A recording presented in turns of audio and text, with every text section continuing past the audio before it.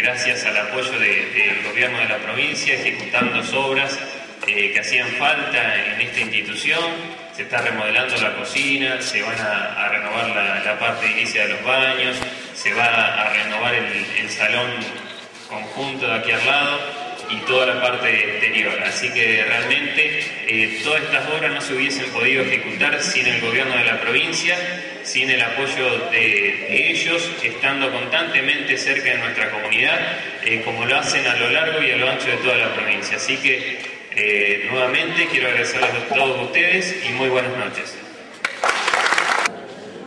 Bueno, buenas noches al señor presidente comunal, a todas las autoridades de la sociedad de canto, pero fundamentalmente a, todo el pueblo de San Carlos Sur.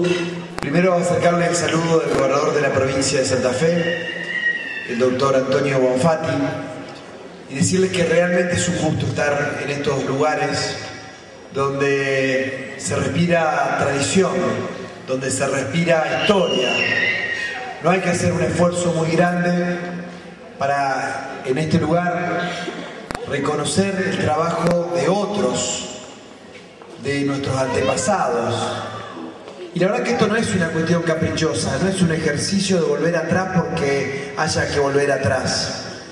Primero porque es un error entender que la, la historia empieza en el momento que uno llega en una provincia, en una comuna, en una asociación. Porque es necesario entender de que muchos otros estuvieron trabajando para que hoy podamos tener este presente. No se puede ser fundacional siempre, creer que la historia comienza justo en el momento que nosotros empezamos sin dar cuenta de que ha habido una gran cantidad de gente trabajando. Y decía que, esto no es caprichoso, no es bizantino, la cuestión de ir hacia atrás, porque los valores son necesarios para construir un futuro.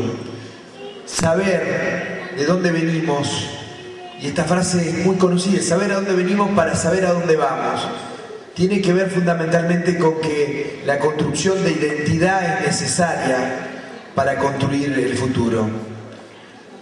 Por eso, en tiempos donde el futuro pareciera no estar claro en el mundo, uno necesita arrecostarse en la calidad humana, en esa sensación de cercanía que ofrecen las poblaciones que conservan los valores.